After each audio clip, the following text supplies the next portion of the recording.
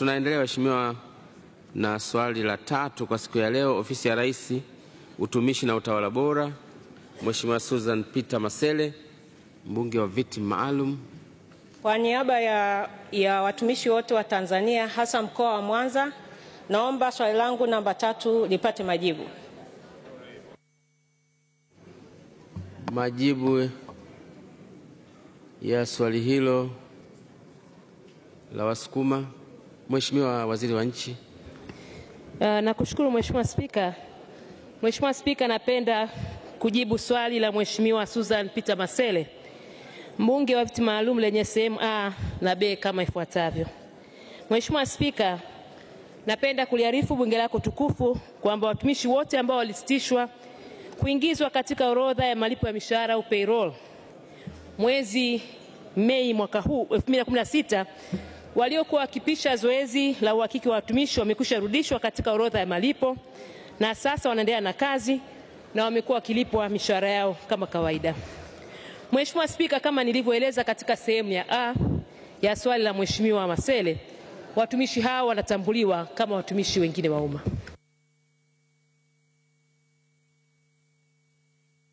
Mheshimiwa Susan, nimekuona. Asante Mheshimiwa Spika kwa kunipa nafasi niweze kuuliza maswali mawili ya nyongeza. Uh, ni lini sasa serikali itaondoa hii dhana ambayo imeanza kujengeka kwamba serikali haiwezi kuajiri kwa sababu haina, haina fedha na kwamba rais ndo amekuwa akiajiri aki kwa, kwa utashi wake bila kufata sheria. Swali namba mbili. Uh, serikali inajigamba kwamba imekusanya ma, mapato mengi na imeondoa wafanyakazi hewa, lakini ni kwa nini haija haija haijapandisha mshahara wala kupandisha watu madaraja? Ituambie, iwaambie watumishi ni kwa nini haifanyi hivyo. Mheshimiwa Waziri wa Nchi, Ofisi ya Rais, Utumishi na Utawala Bora, Mheshimiwa Angela Kairuki, kwa nini amfanyi hivyo? Mheshimiwa Spika, nakushukuru na napenda kujibu maswali mawili ya Mheshimiwa mbunge kama ifuatavyo. Kwanza kabisa nipende kusema hakuna dhana kwamba serikali haina uwezo wa kuajiri. Wote mnafahamu katika mwaka wa 2015 2016 mazoezi yaliyokuwa yakiendelea katika uhakiki, lengo letu kubwa ilikuwa ni kuhakikisha kwamba tunakuwa na idadi ya rasilimali watu ambayo tuna uhakika nayo, lakini pia kujiridhisha fedha ambayo tunalipa kama kweli ni thamani ya fedha kulingana na rasilimali ambayo ipo kazini. Na tunashukuru kwa kufanya hivyo, tumeweza kuondoa zaidi ya watumishi hewa 19,708 ambao endapo wangeendelea kubaki katika orodha ya malipo ya mishahara wangeisababishia serikali hasara kila mwezi ya zaidi ya shilingi bilioni 19.8, fedha ambazo zingeweza kwenda kutumika katika miradi mingine ya maendeleo ya nchi. Mheshimiwa Spika, Ukiangalia katika mwaka huu tu wa fedha, tayari katika bajeti yetu tulijikomiti ya serikali. Tutatoa ajira katika mwaka huu wa fedha 2017/18 zaidi ya ajira 52,436 lakini pia tumeshaanza.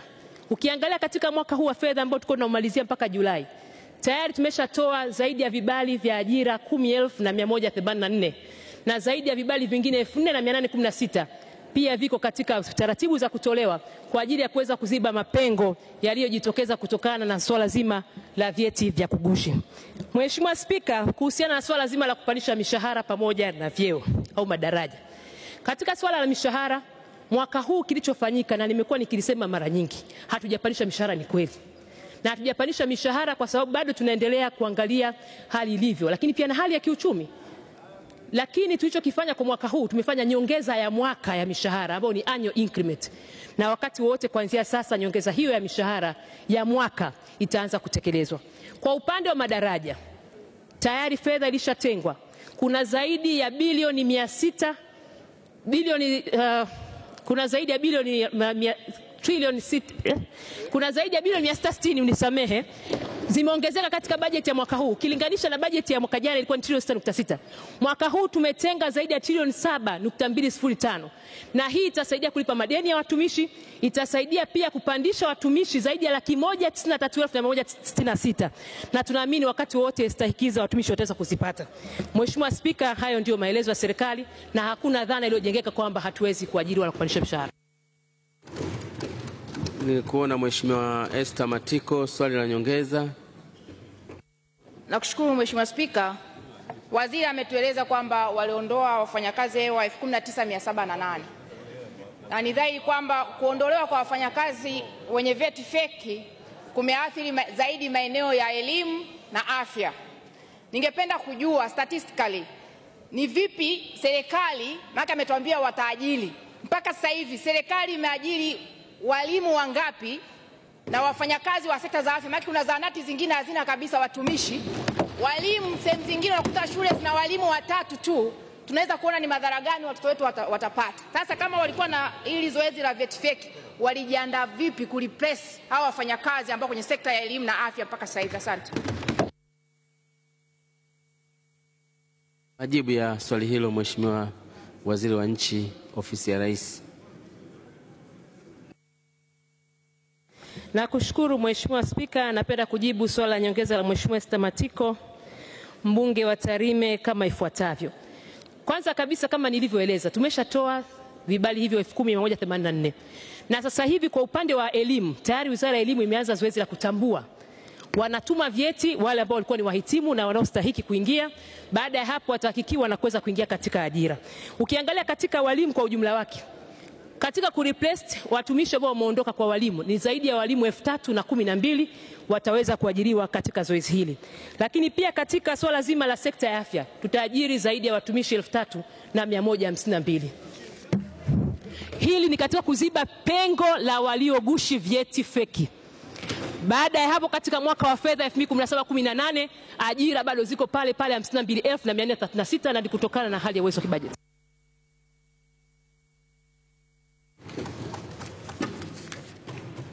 Mheshimiwa Waziri wa Nchi, sijui hii mambo ya fetifeki feki bungeni napo tuangalie angalie nini kidogo.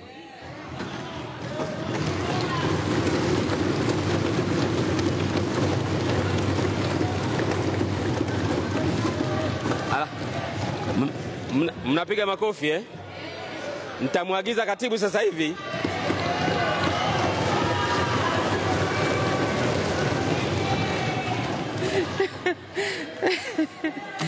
Kwa kuwa wengine wamenuna, basi hilo hapana, alitekeleze. Wizara ya Ujenzi, Uchukuzi na Mawasiliano, Mheshimiwa Hamida Mohamed Abdalla. Asante sana Mheshimiwa Spika kwa kunipa nafasi. Naomba sasa kwa niaba ya wananchi wa mikoa ya Kusini ya Lindi na Mtwara swali namba nne lipatiwe majibu. Majibu ya swali hilo, Mheshimiwa Naibu Waziri eh, Ujenzi, Uchukuzi na Mawasiliano.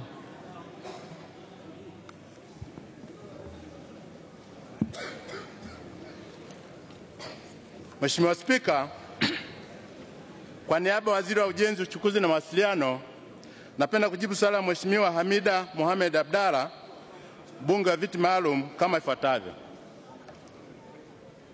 Mheshimiwa Spika, katika kuhakikisha kuwa mikoa ya Kusini ya Lindi na Mtwara inaunganishwa kwa reli ili kutumia bandari kubwa ya Mtwara katika kusafirisha mizigo mbalimbali, serikali imeshafanya upembuzi yakinifu wa reli ya Mtwara hadi Mbamba Bay ambapo inatarajiwa reli hiyo ijengwe kwa ubia kati ya serikali na sekta binafsi, yaani PPP.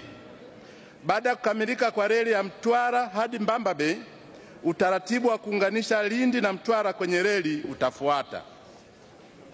Mheshimiwa Spika, katika mwaka wa fedha 2017-18 serikali imetenga jumla ya shilingi bilioni mbili kwa ajili ya kumwajiri mshauri wa uwekezaji yani transaction advisor atakayekuwa na jukumu la kuunadi mradi kwa ajili ya wawekezaji mbalimbali na hatimaye kujenga reli ya Mtwara hadi Mbamba Bay na matawe ya kwenda Liganga na Mchuchuma yenye jumla ya urefu wa kilomita elfu moja. Mheshimiwa Hamida, Asante sana Mheshimiwa Spika kwa majibu haya yenye matumaini kwetu kwa wananchi wa mikoa hii ya kusini, kwa sababu sasa tunaona serikali inafanya jitihada kubwa sana katika kuharakisha maendeleo kwa mikoa hii ya kusini. Kwa hiyo nishukuru sana serikali yetu ya Chama cha Mapinduzi kwa kazi hii nzuri ambayo tunaisubiri kwa hamu kubwa sana. Lakini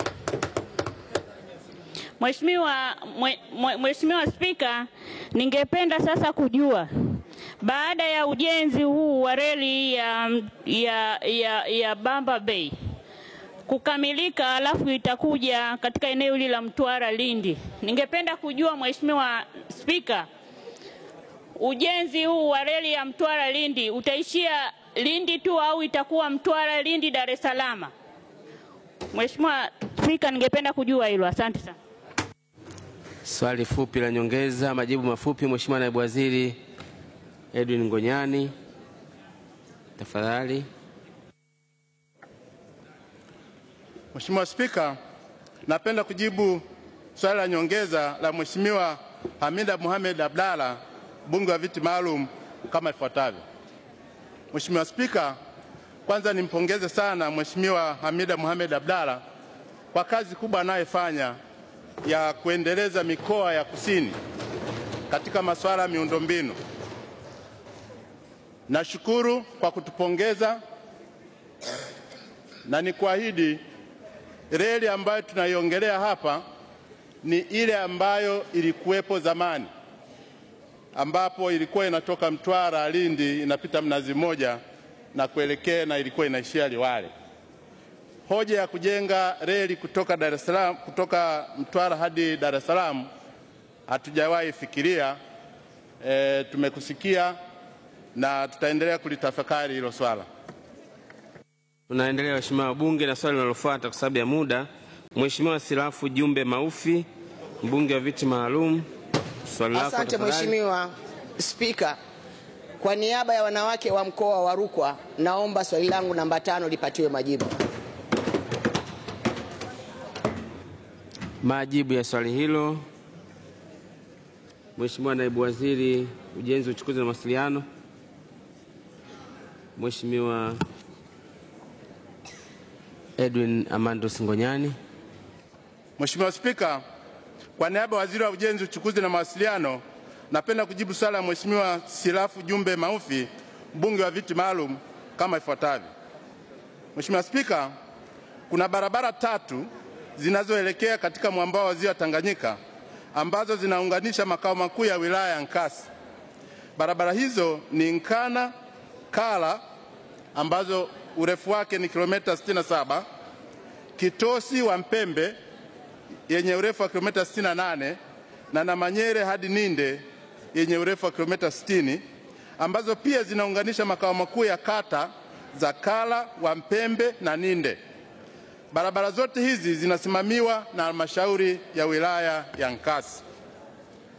Mheshimiwa Spika, maombi ya kupandisha hadhi barabara mbili kati ya tatu nilizozitaja tayari yamewasilishwa Wizara ya Ujenzi, Uchukuzi na Mawasiliano.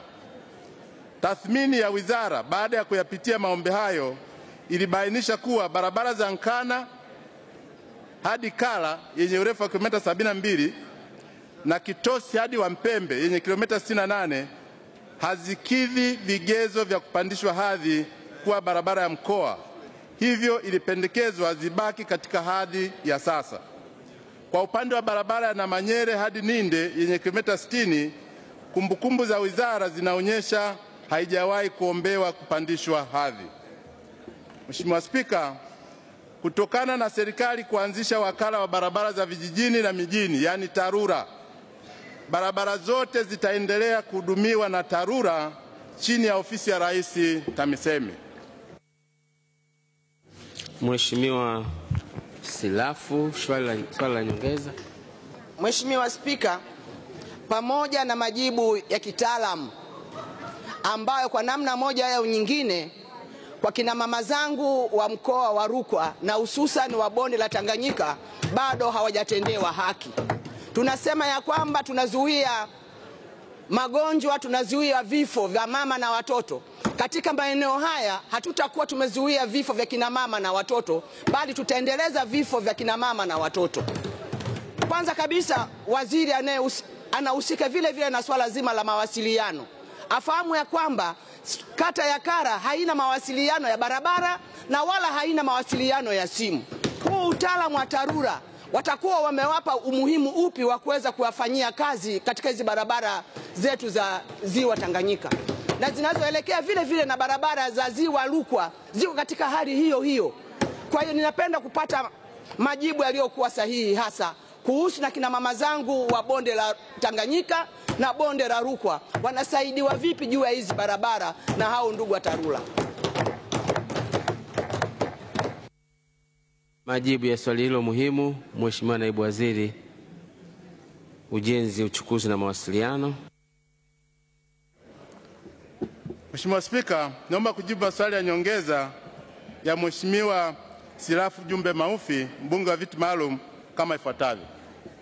Mheshimiwa Spika, nimpongeze sana Mheshimiwa Silafu Jumbe Maufi kwa namna anavyoshirikiana na wabunge wenzake katika kufuatilia masuala mbalimbali ya maendeleo ya watu wa mkoa wa Rukwa, lakini vile vile mkoa wa, wa Katavi. Sina uhakika kwa nini wanashirikiana wakati ni watu wa mikoa miwili tofauti, lakini nadhani ni kwa sababu maeneo yao yanafanana, na mara nyingi barabara anaziongelea zingine zinaunganisha mikoa yote hii miwili. Kwa mfano barabara zinazo- zinazoenda kwenye ziwa Rukwa zinapita katika, katika mikoa hii yote miwili, na nimhakikishie kama ambavyo tumeweka katika bajeti, barabara hizo tutazishughulikia kwa kadri bajeti ilivyopangwa. Kwa mfano, barabara inayounganisha mikoa hiyo miwili, lakini vile vile na mkoa wa Songwe anafahamu kwamba tumeanza kujenga daraja linalounganisha mikoa hiyo, na tukishamaliza kujenga daraja tutaanza sasa kuiangalia barabara yenyewe. Lakini kubwa nimhakikishie, serikali inafahamu sana na wala haina, haina nia, nzu, nia hiyo anayoongelea. Barabara hizo zitashughulikiwa na TARURA kwa kiwango na kwa kasi ile ile ambavyo angetegemea kwa kuzipandisha hadhi, kwa sababu TARURA na TANROADS kwa sasa wana hadhi sawa, wana uwezo sawa, na nikuhakikishie hata kwenye upande wa eh, rasilimali fedha nako huku tunakuangalia ili kuhakikisha taasisi hizo mbili zinatekeleza wa, eh, ahadi zetu na ahadi za viongozi katika maeneo hayo ambayo yameulizwa kwa kasi na kwa kiwango kinachotakiwa. Mheshimiwa Rubeleje, nilikuona swali fupi la nyongeza. Mheshimiwa Spika, nakushukuru sana kwa kunipa nafasi ili niweze kuuliza swali moja la nyongeza.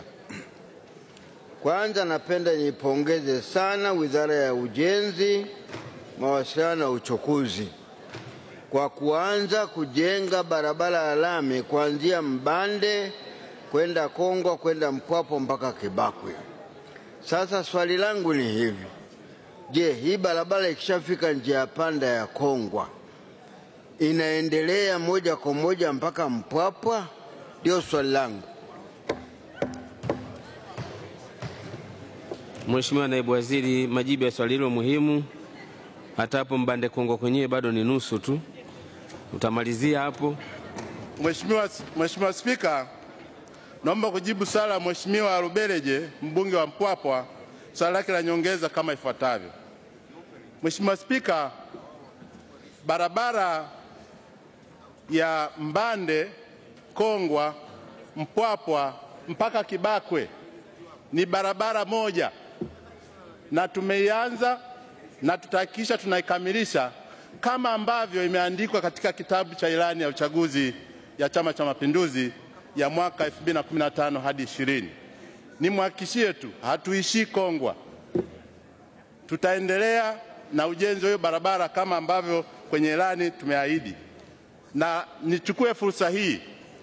Wakati nikitembelea barabara hii, Mheshimiwa Spika, wananchi wa Kongwa walikusifu sana, na mimi niombe nichukue fursa hii, pamoja na kwamba pengine sio sahihi, lakini ni, ni, ni muhimu nizifikishe zile sifa za wananchi wa Kongwa ambao halikuwa hawategemei kama hiyo barabara tutaijenga, na mimi niliwahakikishia hii barabara iko katika ilani na ahadi zote tulizoweka katika ilani tutaikamilisha, pamoja na barabara hii ya kutoka Mbande, Kongwa, Mpwapwa hadi Kibakwe kwa Mheshimiwa Simbachawene. Asante sana. Tunaendelea waheshimiwa wabunge na swali la Mheshimiwa Omari Mohamed Kigua, mbunge wa Kilindi. Mheshimiwa Omari. Asante Mheshimiwa Spika, kwa niaba ya wananchi wa wilaya Kilindi mkoa wa Tanga, naomba swali namba sita liweze kupata majibu. Majibu ya swali hilo hilo. Bado tuko wizara ya uchukuzi, ujenzi na mawasiliano. Mheshimiwa naibu waziri Injinia Ngonyani, tafadhali. Mheshimiwa Spika, kwa niaba ya waziri wa ujenzi, uchukuzi na mawasiliano, napenda kujibu swali la Mheshimiwa Omar Mohamed Kigua, mbunge wa Kilindi kama ifuatavyo. Mheshimiwa Spika, barabara ya Kilindi yani kuanzia Songe kuelekea Gairo ina urefu wa kilomita 111.29. Sehemu ya barabara hii kutoka Songe hadi Kwekivu Junction na mpaka Iyogwe yenye urefu wa kilomita 69.5 inahudumiwa na wakala wa barabara Tanzania mkoa wa Tanga, na sehemu ya barabara ya Iyogwe hadi Chakwale mpaka Ngilori yenye urefu wa kilomita 41.79 inahudumiwa na wakala wa barabara Tanzania TANROADS kwa mkoa wa Morogoro. Mheshimiwa Spika, barabara hii imekuwa ikitengewa fedha kila mwaka na kufanyiwa matengenezo ya kawaida, matengenezo ya muda maalum, matengenezo ya sehemu korofi, ujenzi wa madaraja na matengenezo makubwa ya madaraja. Matengenezo haya yameifanya barabara hii iweze kupitika majira yote ya mwaka. Aidha, mwaka 2014 Mheshimiwa Rais mstaafu Dr. Jakaya Mrisho Kikwete alitoa ahadi ya kujengwa kwa kiwango cha lami kwa barabara hii. Mheshimiwa Spika, nia ya serikali ya awamu ya tano ni kuhakikisha kuwa barabara hii ya kutoka makao makuu ya wilaya ya Kilindi inayoanzia mji wa Songe hadi Kwekivu Junction hadi Iogwe hadi Chakwale hadi Ngiroli wilaya ya Gairo yenye urefu wa kilomita 111.29 inaingizwa kwenye mpango wa kujengwa kwa kiwango cha lami. Kwa kutambua umuhimu wa barabara hii kiuchumi na kijamii, serikali itaendelea kuifanyia matengenezo ya aina mbalimbali ili iweze kupitika majira yote ya mwaka. Mheshimiwa Omari, swali la nyongeza. Asante Mheshimiwa Spika, pamoja na majibu mazuri ya naibu waziri wa ujenzi, mimi ningependa kuuliza swali moja la ziada kama ifuatavyo. Mheshimiwa Spika, ni ukweli usiopingika kwamba barabara hii ni muhimu sana kiuchumi, na ukizingatia kutoka makao makuu ya wilaya ya, ya Kilindi kwa maana Songe hadi gailo ni kilomita hizo alizotaja, lakini barabara hii nyakati za mvua ina changamoto kubwa sana na ni majuzi tu Mheshimiwa naibu waziri wa afya alikuwa anakuja makao makuu ya wilaya, alikwama maeneo Chanungu pale kwa takriban masaa mawili. Swali langu nakuja, je, ni lini sasa Mheshimiwa naibu waziri atahakikisha kwamba watu wa TANROADS mkoa wa Tanga wanasimamia kwa dhati matengenezo maeneo yafuatayo, kwa maana katika bonde la Chanungu, kijiji cha Mafulila pamoja na eneo cha, cha, cha, cha Kikunde karibu kabisa na kijiji cha Gairo hapa kuhakikisha kwamba barabara hii inapitika kwa msimu mzima wa mwaka. Asante sana Mheshimiwa Spika. Majibu ya swali hilo, Mheshimiwa naibu waziri Injinia Ngonyani. Mheshimiwa Spika, naomba kujibu swali la nyongeza la Mheshimiwa Omari Mohamed Kigua mbunge wa Kilindi kama ifuatavyo. Mheshimiwa Spika, kama ambavyo nilieleza katika jibu la swali la msingi, barabara hii ni muhimu sana na serikali inalifahamu hilo, na kama ambavyo nilisema, tunatenga bajeti ya fedha na mwaka huu zimetengwa kuhakikisha kwamba barabara hii inapitika majira yote, na kwa sababu hiyo nawaelekeza TANROADS mkoa wa Tanga na TANROADS mkoa wa Morogoro kuhakikisha barabara hii inapitika majira yote. Asante sana waheshimiwa wabunge, kwa sababu ya muda, kama mnavyojua, leo tulianza na shughuli maalum. Wizara ya Katiba na Sheria, Mheshimiwa Dr. Suleiman Ali Yusuf, mbunge wa Mgogoni. Uh, kwa niaba ya wapenda haki wote naomba swali langu namba saba lijibiwe.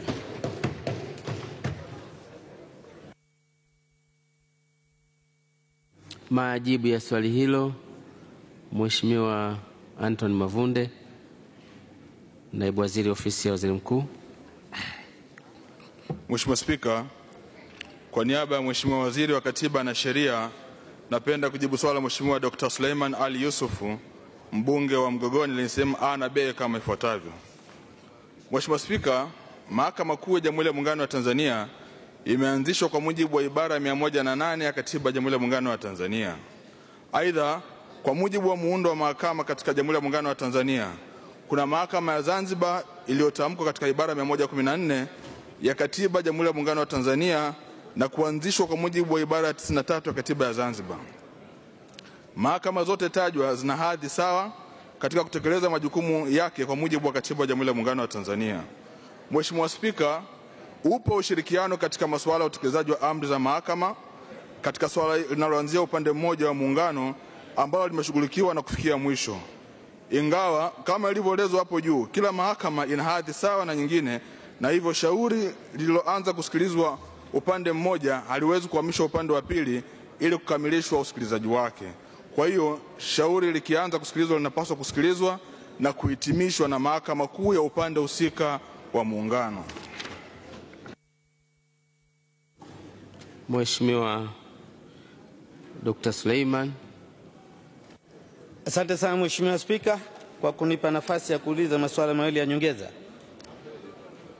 Ikiwa serikali inayaamini haya ya majawabu walionipa, swali la kwanza, je, haioni kwamba kuwahamisha mashehe ambao munawatuhumu kwa ugaidi kutoka Zanzibar kuja kushtakiwa bara ni kuinyang'anya mahakama ya Zanzibar mamlaka yake? Swali la kwanza. Swali la pili, ukisoma ripoti ya Tanzania Law Report ya mwaka 1998 ukurasa wa 48 inayohusu kesi ya Maalim Seif Sharif Hamadi akipingana na serikali ya mapinduzi ya, mapinduzi ya Zanzibar. Inasema wazi kwamba iwapo mtu atafanya kosa Zanzibar, kwanza anapasa kushtakiwa Zanzibar, pili anapasa kushtakiwa na mahakama ya Zanzibar. Swali linakuja hapa, ni sheria ipi iliyotumika kuwahamisha mashehe kutoka Zanzibar ambao ni Wazanzibari kuja kushtakiwa katika mahakama za bara?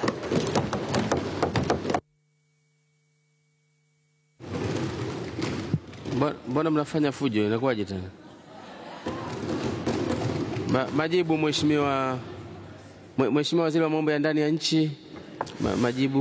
Uh, Mheshimiwa Spika, eh, sipingani na muuliza swali kwenye upande wa vipengele vya kisheria, lakini naomba nimwambie tu kwamba eh, kuna makosa ambayo specifically sio ya, ya kijiografia. Kwa mfano kama watu watafanya makosa ya, ya kung'oa mi- mi- michikichi Kigoma, hilo unaweza ukalitaja kwamba ni kosa la Kigoma kama watu watang'oa mikarafuu Pemba, unaweza uka, ukasema kwamba hilo ni kosa lililofanyika Pemba na lina mikarafuu ya Pemba. Lakini anapofanyika makosa ambayo ni ya nchi nzima, Mtanzania yeyote ama raia yeyote awe wa Tanzania ama wa nje ya Tanzania atachukuliwa na taratibu za kufuata haki ama za, kufata sheria zitafanyika pale ambapo mamlaka inayofanya hatua hizo inaona ndipo panapofaa.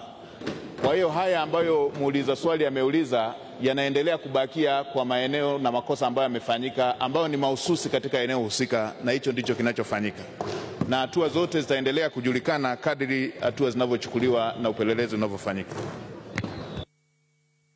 Nyongeza majibu, Mheshimiwa Naibu Waziri, eh, ofisi ya Mheshimiwa Waziri Mkuu kama yapo. Imetosha eh?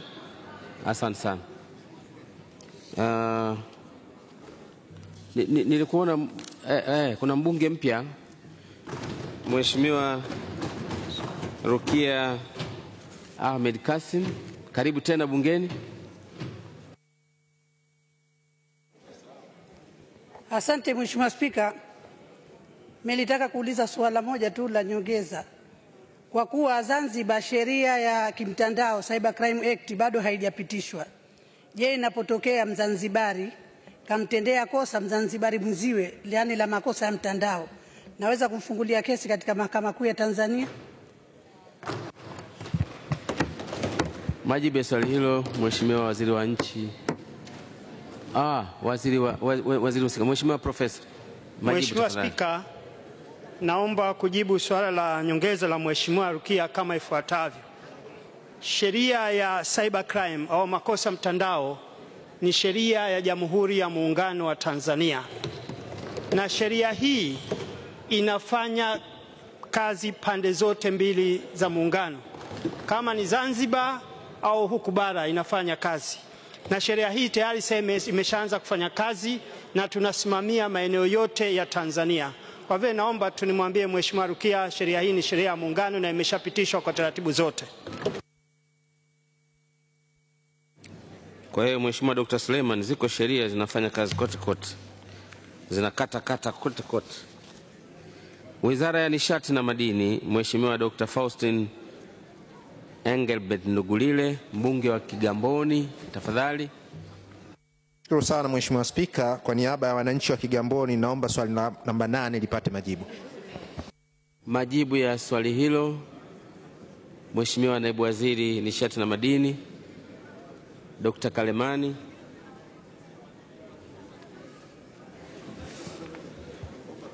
Mheshimiwa Spika, napenda kujibu swali la Mheshimiwa Dr. Faustin Engelbert Lugulile, mbunge wa Kigamboni na sehemu A na B kama ifuatavyo.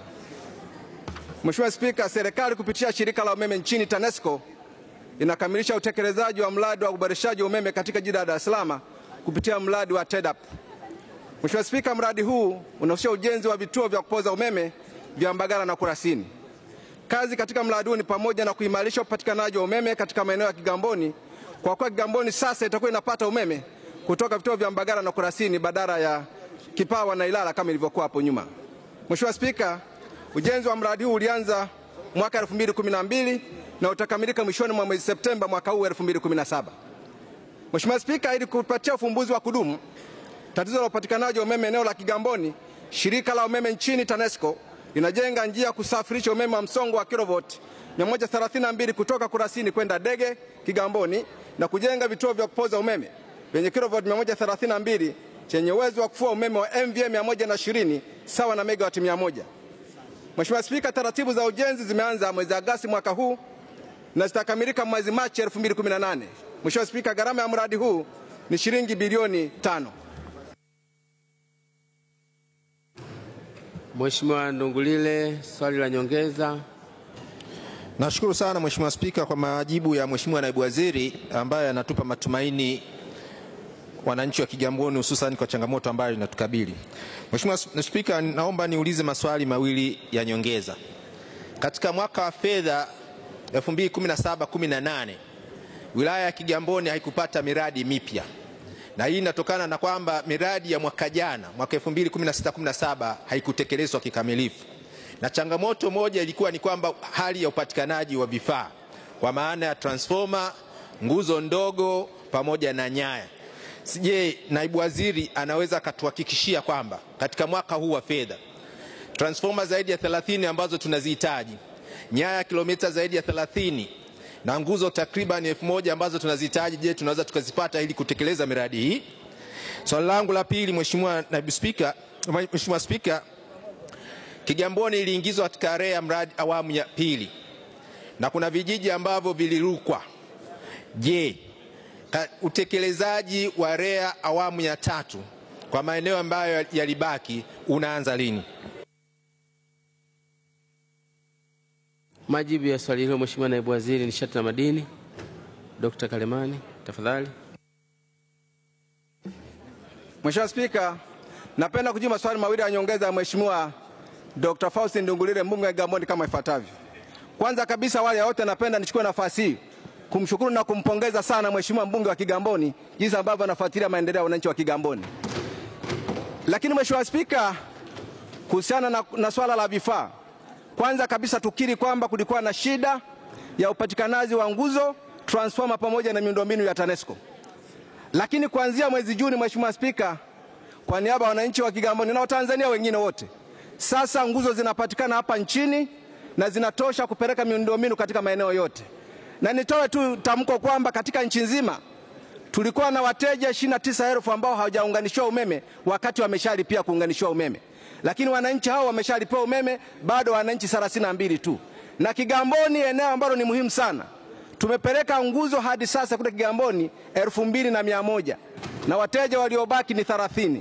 Kwa hiyo wananchi wako wa Kigamboni, Mheshimiwa Ndugulile, kule mwanzo mgumu tumeshawapelekea nguzo kule, mz, kule Mzongozi kwa mpiga chai tumeshawapelekea nguzo, kule Cheka tumeshawapelekea nguzo, kwa wananchi wataendelea kuunganishiwa kama kawaida. Mheshimiwa Spika, kuhusiana na miradi mingine ya jimbo la Kigamboni, ni kweli kabisa.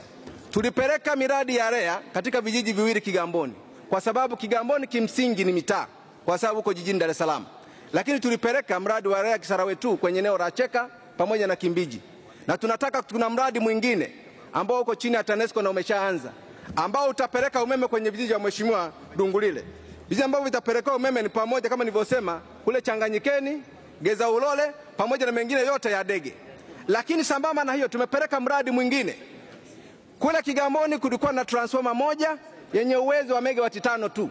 Sasa tumeing'oa, tumeweka yenye megawati mia moja ambayo itapeleka umeme kwenye vijiji vyote vya Kigamboni. Mheshimiwa Spika, nimpe tu faraja Mheshimiwa mbunge wa Kigamboni kwamba matatizo ya umeme wa Kigamboni sasa yanaelekea kuisha na utekelezaji wa REA umeshaanza tangu mwezi Juni mwaka huu na utakamilika mwaka 2019 mwezi Machi.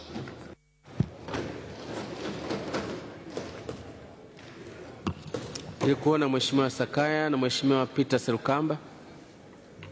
Nakushukuru Mheshimiwa Spika. Naomba na mimi niulize Mheshimiwa Naibu Waziri swali moja dogo la nyongeza.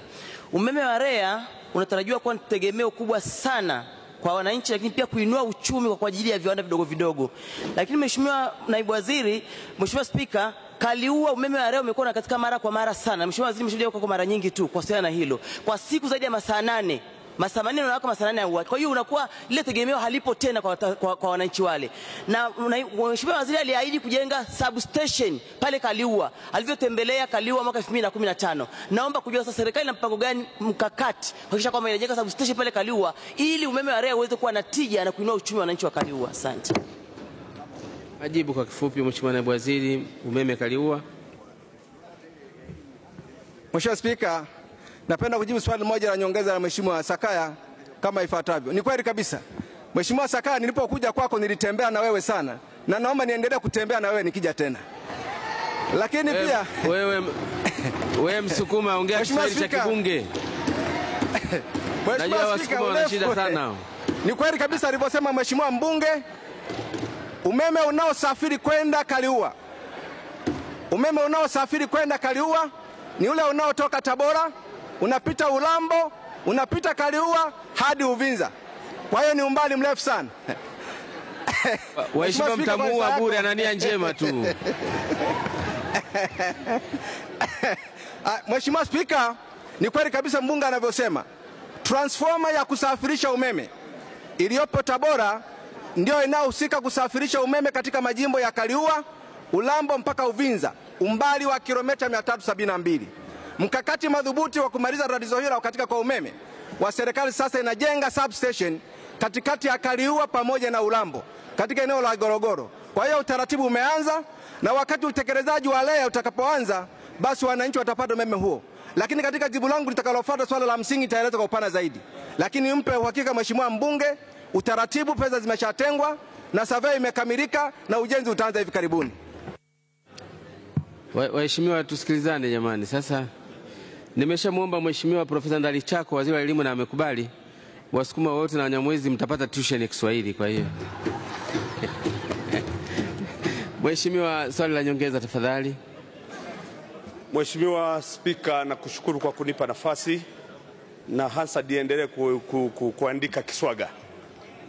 Mheshimiwa Spika, kwa kuwa swali langu linafanana kabisa na swala hili la Kigamboni, wilaya ya Magu ambayo ni jimbo lina vijiji 82 ni vijiji ishirini na tisa tu vina umeme. Je, vijiji hamsini na tatu ni lini vitapatiwa umeme ambavyo hata Dr. Kalimani anavifahamu? Majibu ya swali hilo Mheshimiwa Dr. Kalemani tafadhali. Mheshimiwa Spika, napenda kujibu swali la moja nyongeza ya Mheshimiwa Kiswaga mbunge wa Magu kama ifuatavyo. Kwanza naomba nimsahihishe kidogo Mheshimiwa Kiswaga. Vijiji ambavyo havijapata umeme katika jimbo la Magu sio 53, viko 56. Kwa hiyo Mheshimiwa Mheshimiwa Kiswaga tutapelekea umeme. Lakini niseme tu REA utekelezaji wa awamu ya tatu imeshaanza na katika, na katika wilaya yake maeneo yote yameshafanyiwa survey. Na kama anavyojua Mheshimiwa mbunge tumeenda naye. Tumetembelea Mheshimiwa Kiswaga na nikuhakishie vile vijiji vya Mahaha, vya Igombe pamoja na vya Shishani, vya Nyasato, vya Kayera pamoja kule mpaka Mahaha vitapatiwa umeme na utekelezaji huo umeshaanza. Nikupe tu hakikisho kwamba survey itakamilika tarehe kumi mwezi huu na wakandarasi wataanza kazi rasmi, na kama nilivyosema tuliboresha kwa sababu vile vijiji vyako vitatu vimepelekewa nguzo moja moja. Kwa hiyo sisi tunahesabu kama vijiji vyote havijapata umeme. Kwa hiyo ni hamsini na sita katika jimbo la Magu. Tunaendelea waheshimiwa wabunge na swali la Mheshimiwa Margaret Mwanza sita. Baada ya kutoka Kaliua, sasa tuko Urambo. Nakushukuru Mheshimiwa Spika kwa kunipa nafasi na mimi ya kuuliza swali. Naomba sasa kwa niaba ya wapiga kura wa Urambo wote, naomba sasa swali namba tisa lipate majibu yake. Asante sana. Majibu ya swali hilo Mheshimiwa Dr. Kalemani.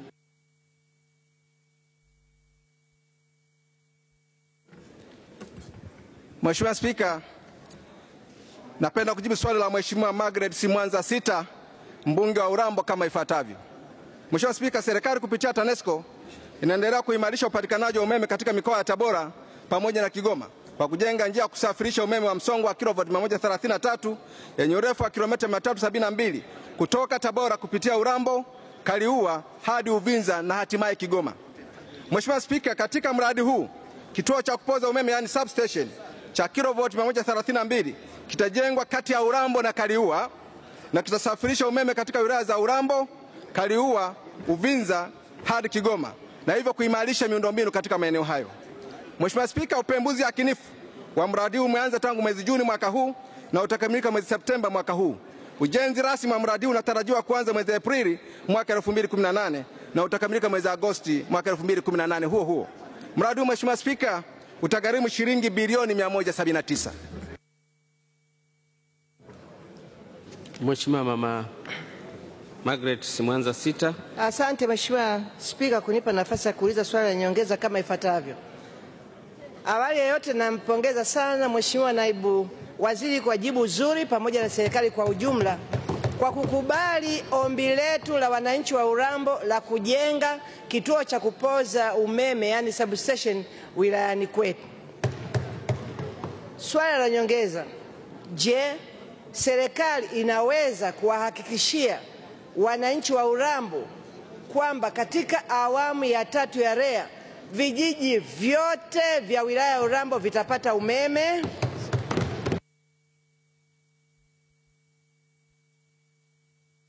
Swali fupi, majibu mafupi. Mheshimiwa Dr. Hermani, Vijiji vyote. Mheshimiwa Spika, napenda kumpongeza Mheshimiwa Margaret Sita kwa juhudi kubwa anazofuatilia maendeleo ya wananchi wa Urambo. Hongera sana Mheshimiwa Spika.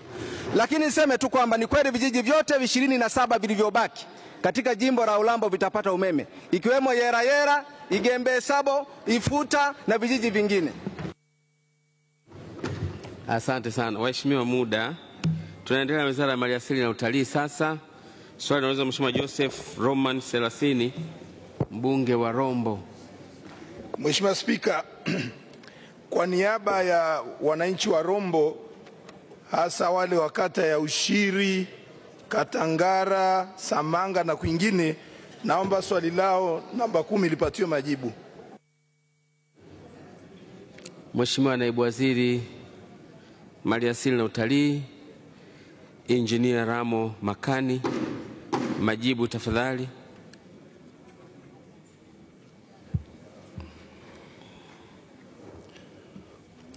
Mheshimiwa Spika, kwa niaba ya Waziri wa Maliasili na Utalii, naomba kujibu swali la Mheshimiwa Joseph Roman Selasini, mbunge wa Rombo, lenye sehemu A na B kwa pamoja kama ifuatavyo. Mheshimiwa Spika, Wizara ya Maliasili na Utalii inatambua uwepo wa tatizo la wanyama wanyamapori wasumbufu na waharibifu ambao wanaharibu mazao katika kata zilizotajwa ambazo zinapatikana zinapakana na hifadhi ya taifa ya mlima Kilimanjaro. Mheshimiwa Spika, wizara kupitia taasisi yake ya TAWIRI imepanga kuendesha zoezi la utafiti wa wanyamapori aina ya nyani, ngedere na kima katika kipindi cha mwezi Oktoba hadi mwezi Disemba mwaka huu ili kubaini idadi yao na mienendo yao na kuianisha na shughuli za kilimo zinazofanywa na wananchi katika maeneo ya vijiji vya kata zilizotajwa. Mheshimiwa Spika, kwa sasa wizara imeandaa utaratibu wa kushirikisha jamii husika katika kulinda mazao yao kwa kutumia mbinu mbalimbali za kitaalamu na za kijadi, hatua ambayo itatekelezwa kuanzia mwezi wa Oktoba mwaka elfu mbili na kumi na saba kwa, kwa, kwa wizara kushauriana na wananchi kuanzisha vikundi, kuendesha mafunzo na kuwapatia silaha za jadi. Mheshimiwa Spika, kuhusu fidia kuhusu kufidia hasara, kwa sasa serikali haina utaratibu wa kufidia mazao yaliyoharibiwa au kuliwa na wanyamapori, na badala yake kanuni chini ya sheria ya wanyamapori ya mwaka 2009 Dangerous Animals Damage Consolation Regulations za mwaka 2011 zinaelekeza ulipaji wa kifuta jasho. Hata hivyo, katika kanuni hizo jamii ya nyani sio miongoni mwa wanyama wanaotambulika kisheria katika ulipaji wa kifuta jasho.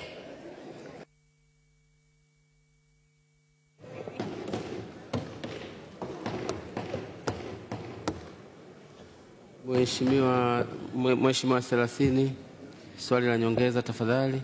Mheshimiwa Spika, nakushukuru kunipa nafasi ya kuuliza maswali mawili ya nyongeza. Mheshimiwa Spika, Waswahili wana msemo kwamba ukitaka kujua utamu wa ngoma uingie uchezi. Mheshimiwa Spika, tatizo hili ni kubwa sana, na binafsi nilikwisha ongea na naibu waziri akawa ameniahidi atanipelekea mtaalam kutoka Arusha. Hili sio tatizo la mwaka huu. Nashangaa jibu linasema kwamba wanaanza kufanya utafiti. Wale wanyama wanaendelea kuzaliana, wanaendelea kuleta usumbufu. Sasa hivi wanaingia hata ndani, wanaepua chakula kikiwa jikoni, na ni hatari sana kwa wakina mama, na nikisema ni hatari kwa kina mama, nadhani kila mtu anaelewa. Sasa nataka nijue huu utafiti utakwisha lini? Swali la pili, Mheshimiwa Spika, miaka ya nyuma nyani hawa walikuwa wanadhibitiwa na wananchi wenyewe kwa kuwaua kwa risasi ambazo zilikuwa zinagaiwa kutoka kwenye ofisi ya mali asili, lakini sasa hivi wamekatazwa kufanya hivyo na mali asili hawa hawa. Sasa naomba niulize wizara, kwa kuwa imetamka kwamba ina inakusudia kuwashirikisha wananchi kwa kutumia silaha za jadi, je, wizara iko tayari wananchi wenye silaha kama magobole na kadhalika watumie risasi kama utaratibu wa zamani, na mimi mbunge wao niko tayari kuwanunulia risasi ili tupambane na hawa wanyama. Vinginevyo watuletee wakongomani waje wawale kule, na sio kutuambia utafiti wakati wanaharibu watu. Majibu ya maswali hayo, ngaja tunajiuliza huko Rombo, mbona mbona hawalalamikii nyati na nini, analalamikiwa nyani tu?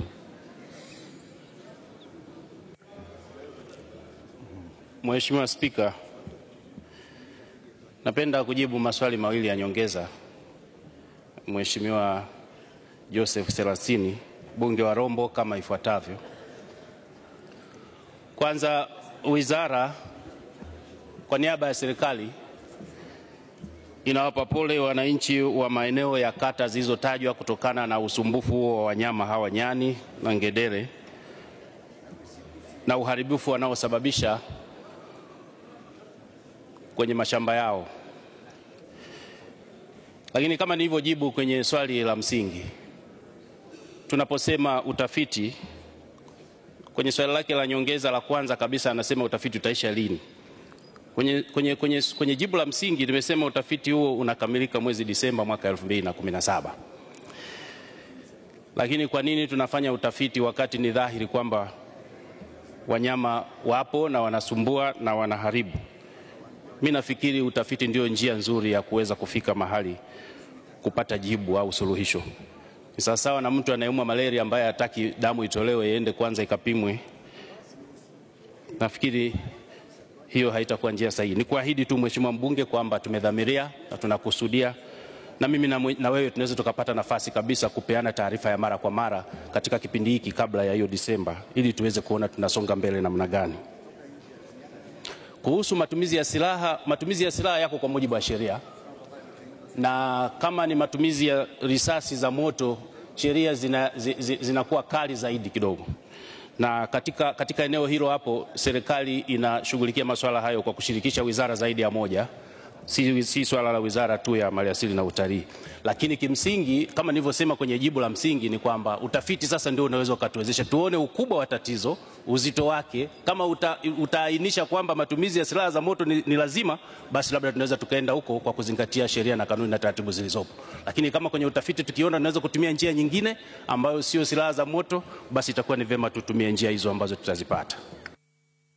Waheshimiwa wabunge, tunaendelea na, tunaendelea na maswali kwa sababu ya muda, lakini kuna mbunge mmoja wa upande, wa upande wangu wa kulia ameniandikia hapa, anahitaji maelezo ya haraka e, kuhusu jambo linaloendelea hapa ndani ya ukumbi. Anasema, Mheshimiwa Spika, ni kwa nini wenzetu wengine leo wamevaa nguo nyeusi humu ukumbini? Sasa anapendekeza, anasema anasema au wanaomboleza kutokana na kufutwa kwa, kwa, kwa matokeo ya nchi jirani ya uchaguzi mkuu.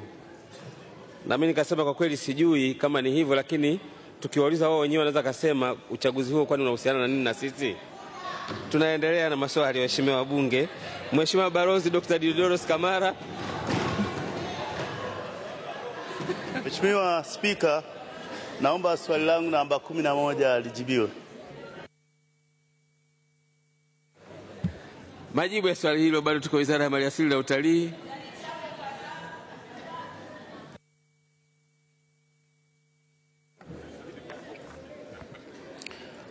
Mheshimiwa Spika, kwa niaba ya Waziri wa Maliasili na Utalii napenda kujibu swali la Mheshimiwa Dr. Deodorus Buberwa Kamala, mbunge wa Nkenge lenye sehemu A na B kwa pamoja kama ifuatavyo.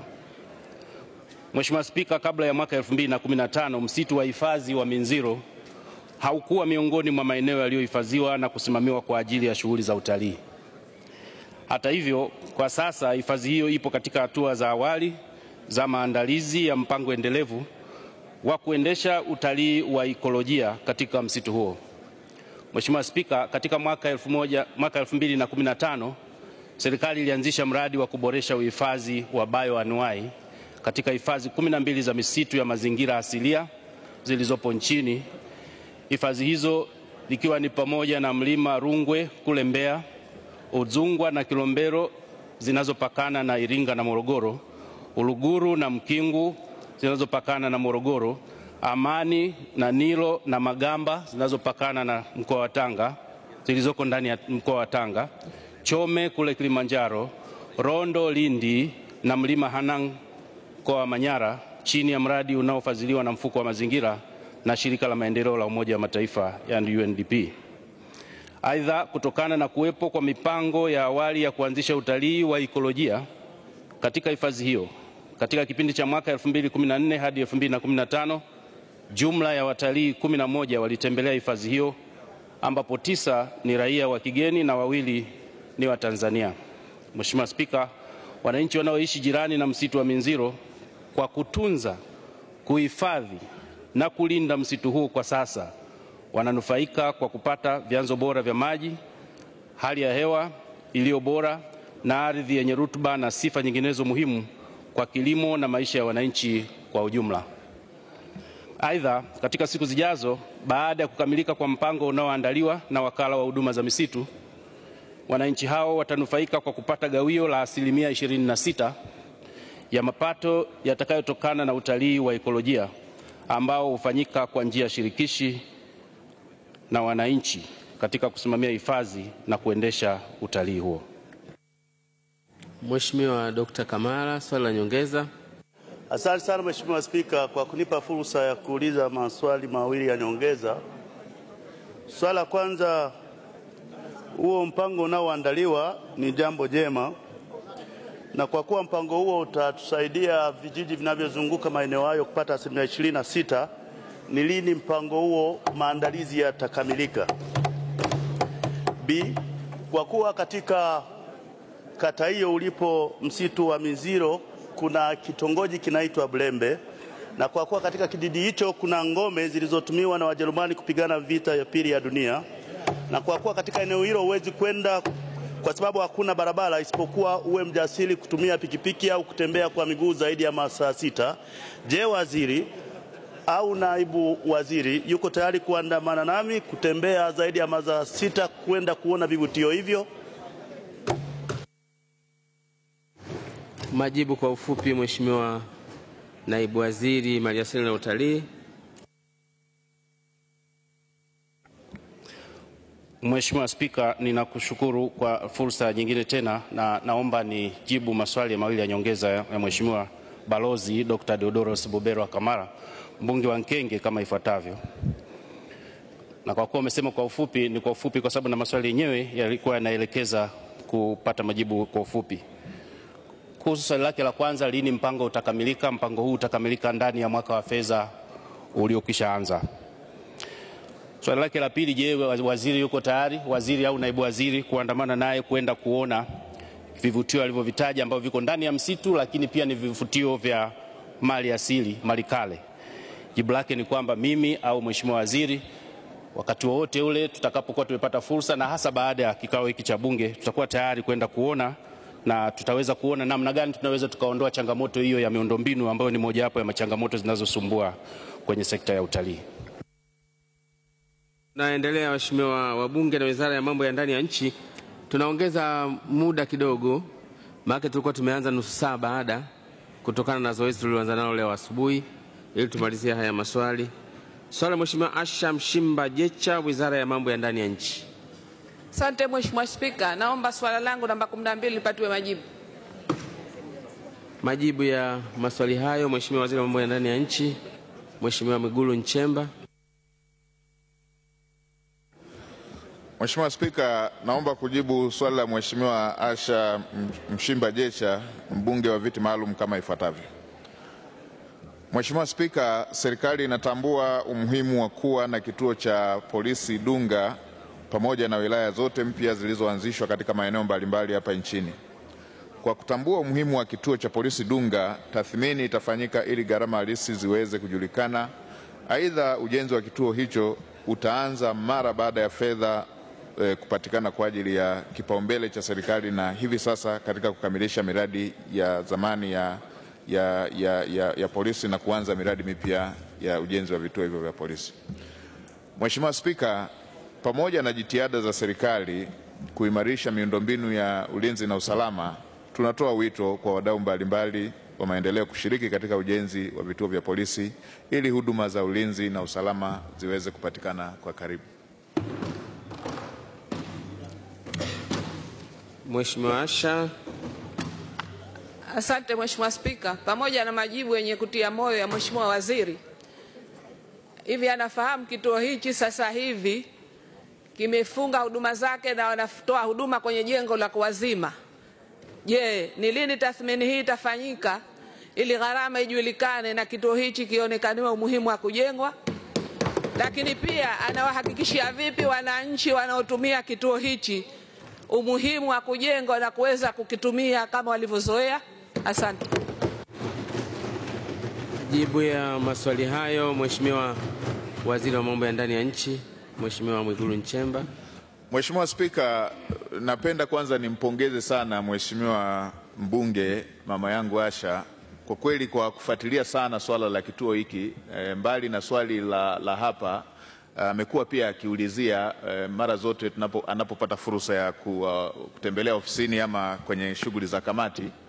Ni niseme tu kwa umuhimu huo na kwa ufuatiliaji wake, jambo hili tumesema e, lifanyiwe tathmini kwa upekee kwa maana ya e, kituo cha Dunga kama, kama, kama kituo peke yake e, mbali ya vituo vingine maeneo mengine ambavyo vinafanana kama, kama kituo hicho, na mara tathmini hiyo itakapokuwa imekamilika, ambapo tunaamini ni katika kipindi hiki hiki basi utaratibu wa upatikanaji wa fedha utaanza e, na hapo ndipo tunaposema tunatoa rai hata kwa wadau mbalimbali ili tuweze kufanya kama ni, ni, ni jambo mahususi kufatana na mazingira ya pale, na mara u, u, ukarabati wake utakapokamilika, basi niwahakikishie wananchi kwamba e, matumizi yake yatarejea katika hali ya kawaida na wataendelea kumpongeza na kumpigia kura mheshimiwa mbunge ambaye amelitetea sana jambo hili. Kwa kifupi, twende Pemba. Swali la nyongeza, Mheshimiwa Masud Abdalasani. Nakushukuru Mheshimiwa Spika. Sasa nina swali moja dogo la nyongeza tu kwamba ni muda mrefu hapa bungeni serikali imekuwa ikiahidi kwamba kituo cha polisi cha Kingeja ambao ni kibovu chakavu cha zamani, na mnasema mliwarithi kutoka kwa wakoloni, na mnasema kituo hichi mtaweza kuitengeneza, lakini mara nyingi kituo hichi hamtengenezi na kimekuwa kihatarisha maisha ya askari na baadhi ya wale wanawekwa pale kwa muda. Je, ni lini serikali hasa itaandaa mazingira ya ziada kuhakikisha kwamba kituo hichi mnakikarabati ili kuepusha madhara yanayoweza kutokea? Majibu ya maswali hayo ya nyongeza, swali hilo la nyongeza, Mheshimiwa Waziri wa Mambo ya Ndani ya Nchi. Mheshimiwa Spika, uh, nishukuru kwa swali la nyongeza kutoka kwa Mheshimiwa mjumbe makini wa kamati inayosimamia Wizara ya Mambo ya Ndani. Naye nimwahakikishie tu kwamba eh, kikosi chetu kinachosimamia masuala ya ukarabati kitafanyia tathmini pamoja na eh, kituo anachokiongelea eh, ni kipaumbele cha wizara kufanya ukarabati na kukamilisha majengo ya vituo ambavyo vimeshafikia hatua za kuweza kutumika ili vianze kutumika, na cha kwake tutaweka umuhimu huo kama alivyohitaji kwenye swali. Asante sana. Tunaendelea mambo ya nje na ushirikiano wa kimataifa, ushirikiano wa Afrika Mashariki. Eh, Hapana, tunaendelea na Wizara ya Kilimo.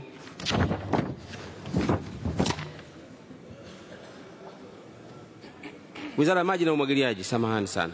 Swala la Mheshimiwa Lazaro Nyalando, mbunge wa Singida Kaskazini.